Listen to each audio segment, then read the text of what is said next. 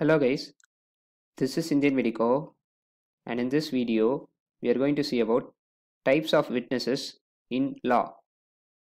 This is a concise presentation for medical students. In law, a witness is someone who provides testimonial evidence. There are two types of witnesses. They are common witness and expert witness. A common witness is a person who gives evidence about the facts observed or perceived by him. He need not be skilled or trained in a specific subject. He must be capable of perceiving the fact by his own senses. A common witness must have actually observed the fact. This is known as first hand knowledge rule. Now let us see about expert witness.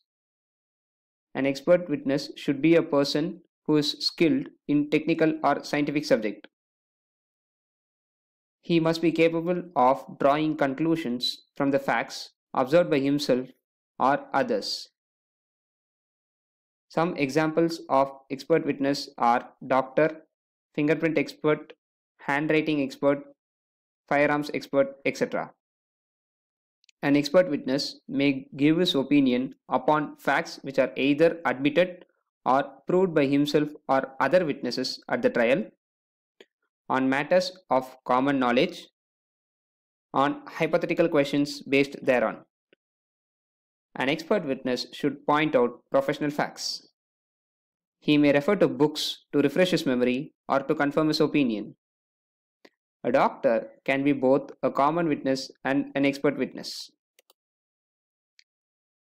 Now let us see about hostile witness. A hostile witness is a witness who is antagonistic to the party calling them. The court will declare a witness as hostile on the suggestion of the lawyer of the party who has summoned the witness, that is, the prosecution lawyer. A hostile witness can be cross examined by the same side lawyer. Common or expert witness can both be hostile. Now let us see about perjury. Perjury means willful gi- giving of false evidence by witness while under oath or failure to tell what he knows or believes to be true. Perjury is punishable by imprisonment up to 7 years.